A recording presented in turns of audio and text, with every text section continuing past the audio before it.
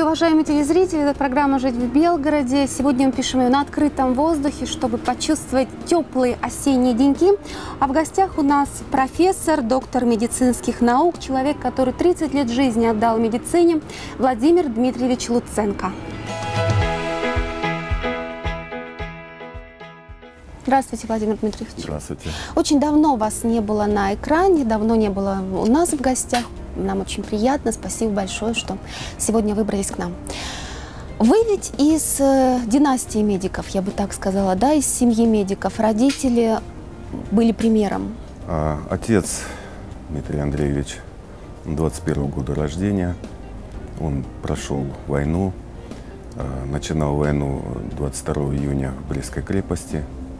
Вот, и потом с боями дошел до Праги.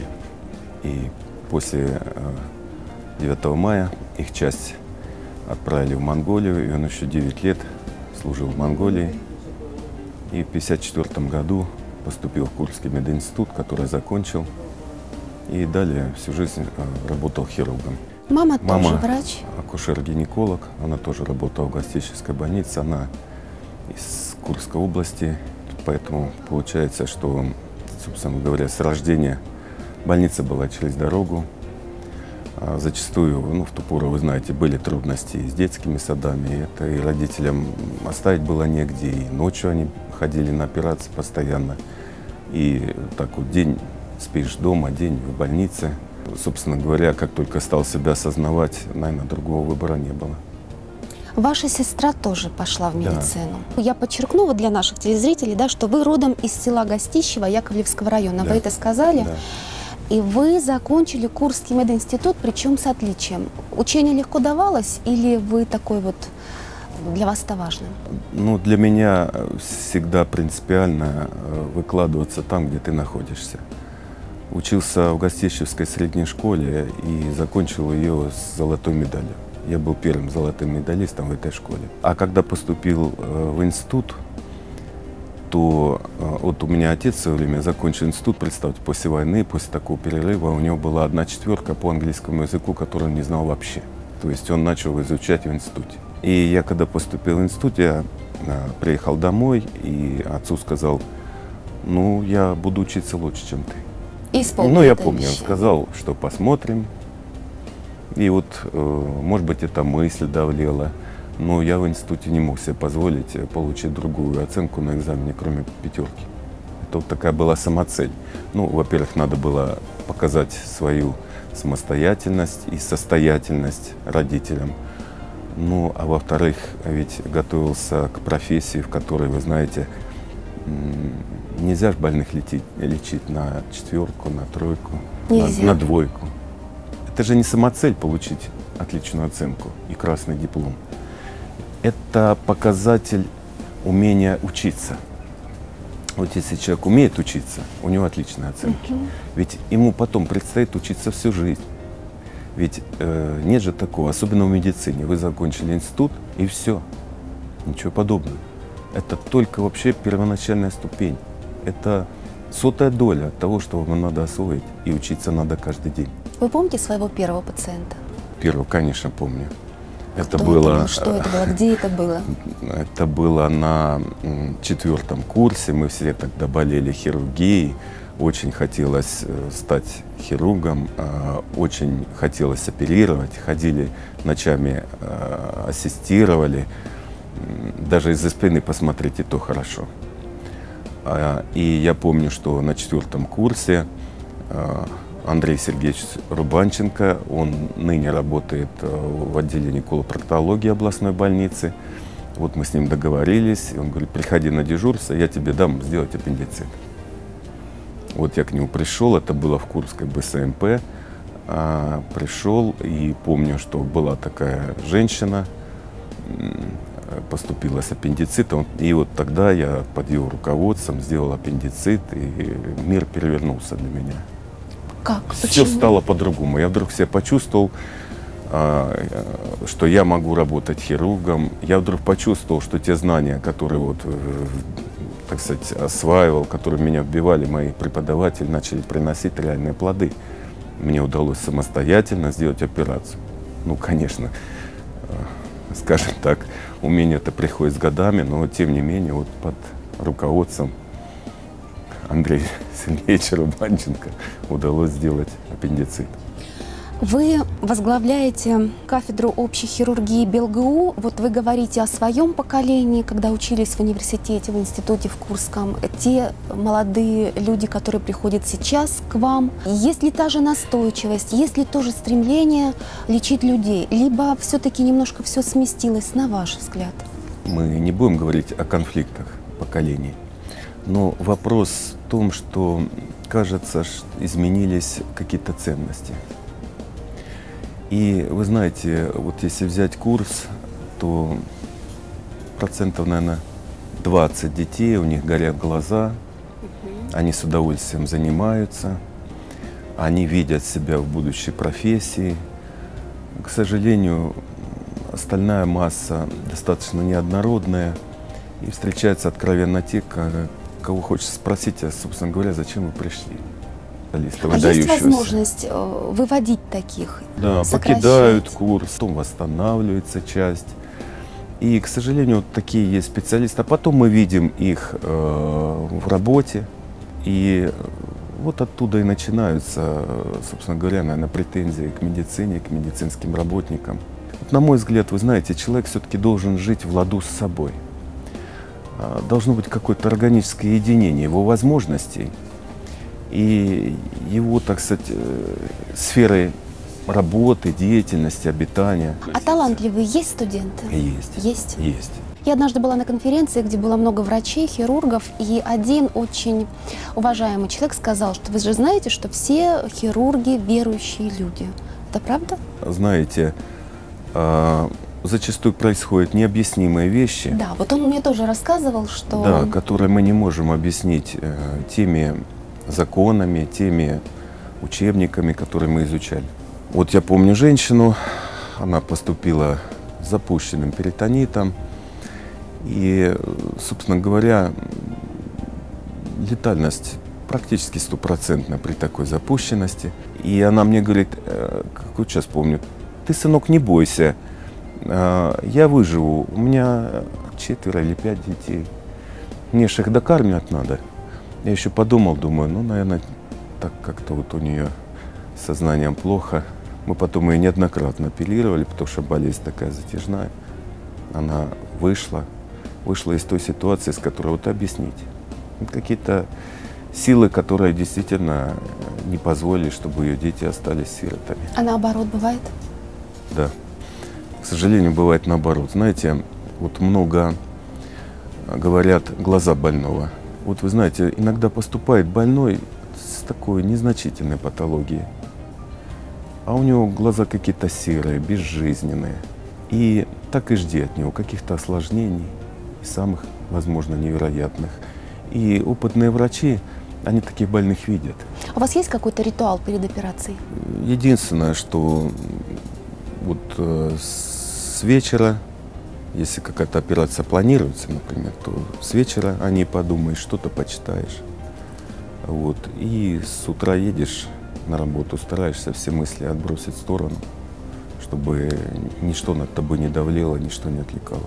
Вы сейчас оперируете в областной клинической больнице, да, я скажу для наших телезрителей. Десять лет вы возглавляли городскую больницу номер два. Подхожу к такому наверное, сложному вопросу. То, что произошло в декабре, да, вот этот трагический случай. Как вы считаете, когда погиб человек э, от э, рук хирурга, вина в этом системы, которая вот сегодня поставила врачей, пациентов в такую позицию, это человеческий фактор, все зависит от конкретного врача, или это не знаю, трагический случай, вот стечение обстоятельств, то, что очень сложно объяснить, то, что сложно поддается вот пониманию, почему произошло, на ваш взгляд? А, на мой взгляд, собственно говоря, эта трагедия произошла в результате, скажем так, сложения всех векторов. Ну, давайте не отбрасывать личностные характеристики, да? Вот вы говорите, там хирург. Да нет, уголовник как только он занес руку над больным, как бы это ни было и в каких бы это обстоятельствах не было, то он автоматически становится уголовником. Но вы о нем говорили хорошо, как о враче. Да. Вот я опять вчера анализировала все, что было в СМИ. Вы Да. о нем говорили хорошо. Занимался, старался, э, хотел быть хорошим хирургом. Но вопрос в том, что хирург это же не только твои операции, но и это же способ жизни. Всякие бывают ситуации, поверьте. Вы же потом смотрели подборки, какие бывают ситуации в приемном отделении, в отделении, разгоряченные родственники, пьяные больные, которые кидаются и так далее. Но хирург не должен себе позволить снизойти до э, такой вот кулачной разборки. Для этого есть другие органы, которые этим должны заниматься. Милиция. Надо оставаться интеллигентом в любой ситуации. И это не говорит о том, что вы трус. Это говорит о том, что каждый должен заниматься своим делом. Так вот, хирург должен лечить больных. Вы какую-то свою вину, вот личную, чувствуете за произошедшее? Легче всего, конечно, сказать, что такого быть не могло, и такое вот случилось. Но свою личную вину никогда не сбросишь. И это такой вот крест, который несешь на себе пожизненно. Кто-то натворил, а ты за это переживаешь, это и ночами снится, и из головы не идет. Вина в том, что не донес это до конкретного человека. Вина в том, что не научил его быть интеллигентом, что называется, до мозга костей. Вам эта история стоила, по сути, должности руководителя горбольницы. Я вчера, как бы снова вот опять возвращаясь к интернету, была петиция на имя президента страны, где, вы, конечно, об этом знаете, да, петиция на имя президента страны от э, коллектива второй горбольницы, где было дословно «Мы глубоко сожалеем о случившемся людском горе, но еще большим трагизмом для нас на фоне произошедшего явилось освобождение должности нашего руководителя, с которым нас связывают годы жизни и работы». Для вас то, что вот такие были последствия, приняли как данность, пытались доказать что-то, отстоять какую-то свою точку зрения. Принимаю как данность. Кто-то же должен нести ответственность за такие вот происшествия. Да. А с другой стороны, чему-то так радикально огорчаться и рвать на себе волосы. Знаете, я счастлив тем, что вот судьба дала возможность э, воплотить э, какие-то свои мысли, идеи, не только вот э, в хирургической практике, где, например, начинал основы эндобелиарной хирургии, которая на сегодня распространилась э, широко в области, и много учеников, и все эти операции идут, а я понимаю, что когда-то э, начинал эту хирургию, целый раздел, будучи совершенно еще э, молодым человеком, имея еще достаточно малую практику, а так хотелось. И ездил, учился и в Харьков, и в Москву, и в Санкт-Петербург, и в Киев. Когда вспоминаю, как вот с нынешним э, заведующим первой хирургии Александр Валентинович Солошенко, как мы с ним э, по, по ночам делали первые операции э, с применением аллотрансплантантов при грыжах, поскольку тогда Арнольд Павлович Седов, ныне покойный, великий человек, он как-то вот не сразу все воспринимал. Знаете, ему надо было показать вот все готовое. Он всегда, что вы там придумываете, надо работать с местными тканями и так далее. Да, он, конечно, был прав, но не всегда же такие ситуации бывают. И мы вот, вспомню, с Александром Валентиновичем, ну пойдем прооперируем. Ночью одна операция пошла хорошо. Мы же учились, ездили, посмотрели, сделаем потихонечку. Одной Павлович, да мы там сеточкой сделали. Поворчит, ну, поворчал месяц-два, а потом это все пошло. То есть, понимаете, это те воплощения, которые удались, да? А на уровне больницы, э, я счастлив тому обстоятельству, что пришел, собственно говоря, больница, которая очень сильно отставала по технологиям, отставала по людским ресурсам, по наличию классных кадров. Это очевидно, об этом, так сказать, никто не скрывает, и это, об этом можно говорить.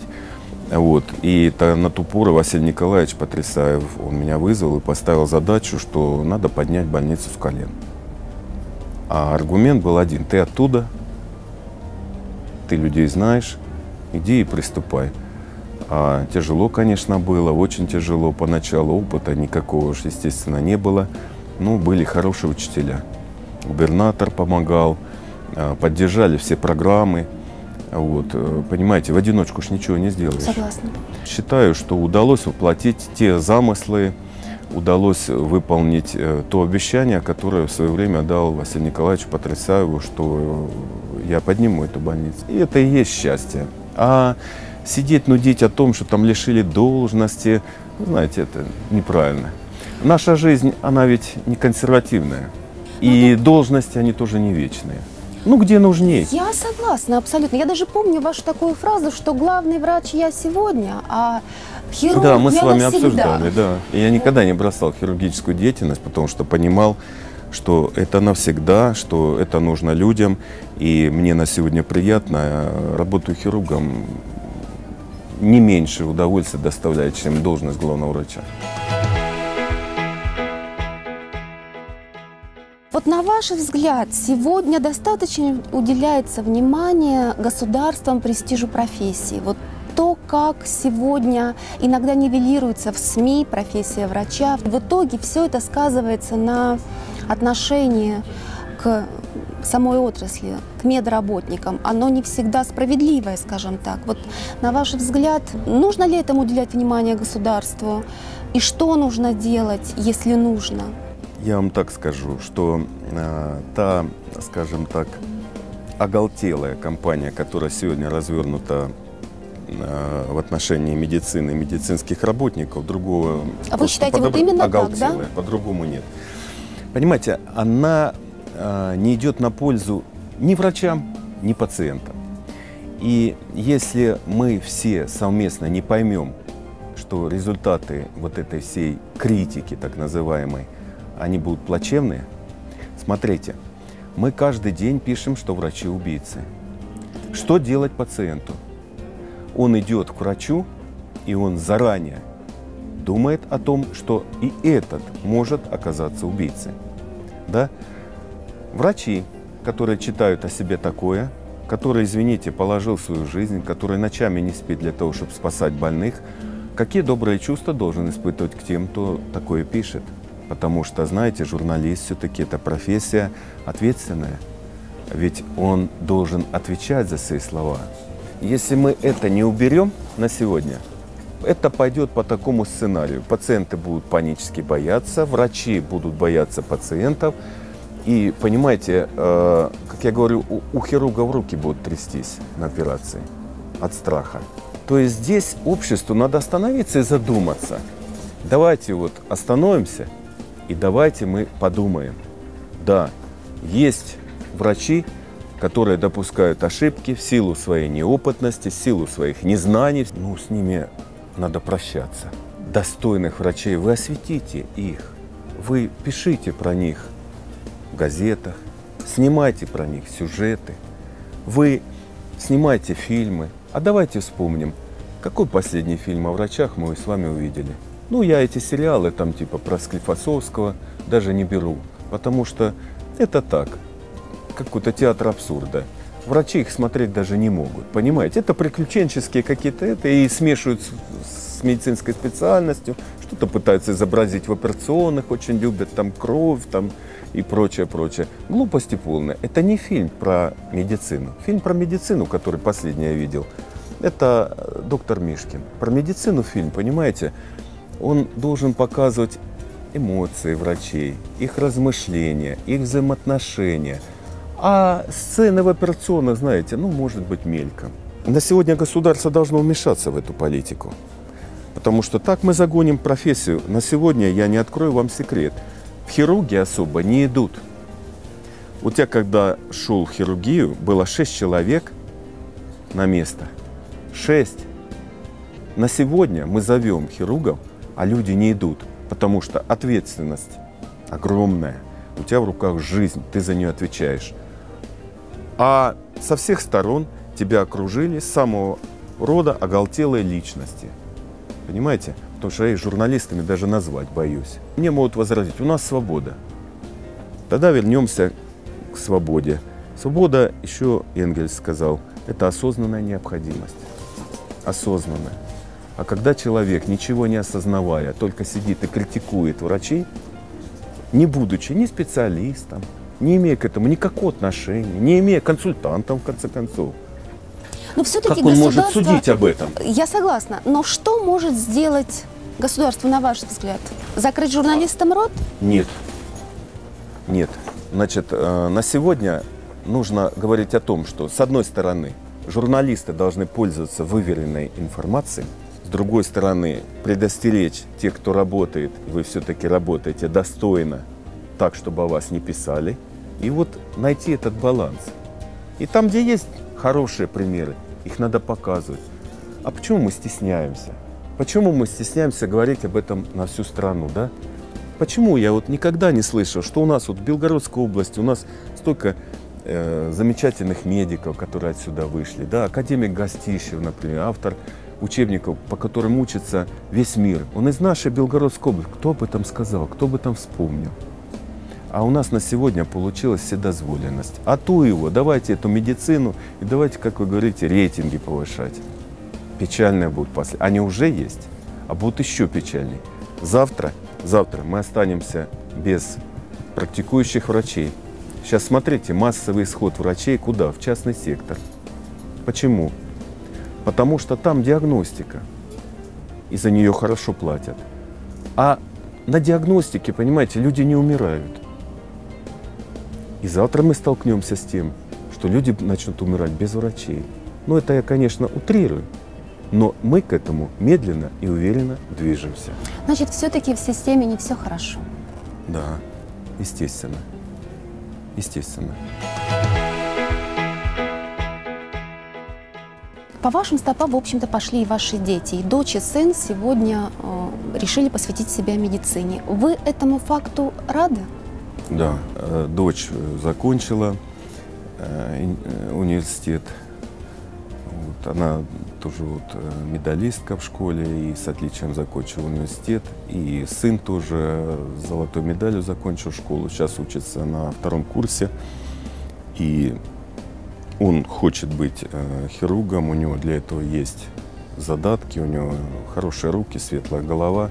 Он с удовольствием ходит со мной в судебную медицину, смотрит, изучает. У него целая подборка и костей, и скелетов, и книг. Он сидит до трех, до четырех утра, э, э, учит предметы и учится на отлично. Я ни в коей мере не, не влажу в его процессы обучения. Я только ему где-то подсказываю, где-то показываю, стараюсь, чтобы он к концу института был уже специалистом, который может самостоятельно оперировать, самостоятельно принимать решения. Ну, то есть подготовить его на таком уровне. Немножко о другой стороне вашей личности. Вы творческий человек. Я знаю, что вы владеете музыкальными инструментами, вы сами поете очень хорошо. Вы э, даже инициировали, даже создали хор в, в городской больнице. То есть для вас это важно? Да, очень важно. Я через всю жизнь пронес такое твердое убеждение, что человек творческий, он должен быть в каком-то искусстве, да? Вот я с удовольствием... Вы человек. Ну, стараюсь им быть. А, я с удовольствием занимаюсь э, музыкой, э, пою всегда. Это такое, знаете, вот средство выплеснуть эмоции, да? средства коммуникации, общения с другими людьми. А хор больницы, вы знаете, э, он создавался, он преследовал собой несколько задач. Да, в первую очередь, конечно, люди должны каким-то образом отходить от э, тяжелой профессии. Он должен как-то отвлечься от тех мыслей, которые его не покидают после того, как он сутки отдежурил. Представьте себе, в какой он мясорубке побывал. А вторая задача, и не менее важная, ведь там а, в хоре поют э, представители разных отделений. Они стоят плечо к плечу.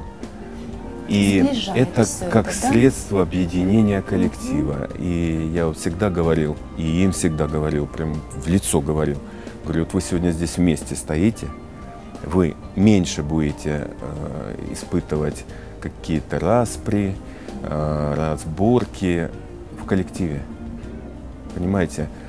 Э, и поверьте, это действительно так. Ну вы, кстати, вот в 2013 году, когда мы писали с вами интервью, вы мне сказали, вот цитата, «Медицинский коллектив очень сложный, по ряду показателей они превзойдут театральные коллективы». Да. Это правда, да? да? Я так и остаюсь на таком же убеждении, и поэтому нужны какие-то вот э, нетривиальные подходы, чтобы, знаете, вот на сегодня, например, там коллектив второй больницы, ну, 1400 человек, подумайте, и они должны что называется, петь в один голос. Угу.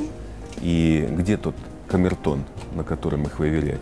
Еще одно ваше увлечение, о котором я бы хотела поговорить, это планерный спорт – это, не, наверное, не раскрою секрет, расскажу, что вы э, возите несколько раз в год, ну когда как получается, да, детей э, из трудной, э, у которых сложилась трудная жизненная ситуация, трудные подростки, пытаетесь увлечь этим планерным спортом. Откуда это все пошло? Небо меня манило с детства. Я помню, приезжал вот к тете своей в Курск, а у нее рядом был аэродром, и там постоянно летали военные самолеты с утра до ночи. Кого-то это раздражало, а меня завораживало. Я просто сидел на улице, смотрел, как они идут там и парами, и тройками, и пятерками. Так может вы могли быть Завораживающе. Ну нет, это вот, э, вот я это любил, но я не мог это представить в своей профессии. Появилась потом возможность, появился у меня такой хороший наставник, он инструктор по летному делу, он пилот, э, он учился в Волчанске, появился потом и земляк э, наш, считаю земляк, он из Курска, заслуженный летчик Лазарев Олег Михайлович, он в Афганистан отлетал три года на боевом истребителе, он летал в составе э, группы «Стрижи», и они меня вот притянули к летному делу. Когда освоил уже вот, э, ну, порядка четырех типов самолетов, на которых я могу летать самостоятельно, э, появилась мысль о том, что надо детей к этому привлекать. И вот именно детей, вы знаете, из, как я говорю, не из неблагополучных семей, из неполных семей. Потому что это хорошая перспективная профессия, востребованная – а вот. Э, у нас в стране огромная нехватка летчиков. И э, любой мальчик средних способностей, но достаточно физически развитый и желающий летать, с него получится хороший летчик. Ну, Очень это такая хороший. вот депутатская ваша деятельность, все-таки это направление депутатской работы? Да нет, это нет, же вы понимаете, это какой-то был внутренний, ну, собственно угу. говоря, какой-то был внутренний такой вот душевный порыв – Э, сделать что-то для этих мальчиков, девочек. Я как-то приехал э, в один интернат, посмотрел и думаю, а какое у них будущее? Далеко не безоблачное. У многих. Мы же не будем это скрывать. И вот захотелось, знаете, вот это, наверное, самый такой вот доступный способ. Ведь если ребеночек этим небом заболеет, то все, эта болезнь такая на века, он пойдет. И вы знаете, есть, вот э, брали детей, и на сегодня я горжусь тем, что вот трое э, учатся в э, военных летных училищах. И еще вот сейчас трое тоже будут поступать. То есть фактически, практически 100% дети, которые вот сажаешь на планер, с большим удовольствием идут. И получатся из них прекрасные граждане нашей страны. Хотя, я еще раз говорю, это дети из неблагополучных семей. Ну, я скажу еще для наших телезрителей, что вы депутат Совета депутатов Белгорода, да, мы вот как-то эту тему сегодня не затрагиваем, и уже программа подходит к концу, время истекает. Осталось время на последний вопрос. Наша программа называется «Жить в Белгороде». И я всем своим гостям, в общем-то, задаю такой вопрос. Комфортно ли вам живется в Белгороде? Нравится ли вам жить в Белгороде? И чем для вас он привлекателен? Мне очень нравится жить Белгороде это, э, скажем так, город больших возможностей. Я думаю, что наш город, наша область, они являются ведущими регионами, одни из ведущих регионов у нас в России. И думаю о том, что это место и сохранится, и будет примножаться. э, трудами, э, чаяниями тех э, миллионов, полутора миллионов людей, надеюсь, что и до двух дойдем, э, которые живут в нашей области. Спасибо вам за участие в программе. Напомню, что сегодня нашим гостем был Владимир Дмитриевич Луценко. Хирург, доктор медицинских наук, профессор, академик, преподаватель, депутат Совета депутатов Белгорода. Это была программа «Жить в Белгороде». Мы встречаемся на телеканале «Белгород-24». Увидимся. До свидания.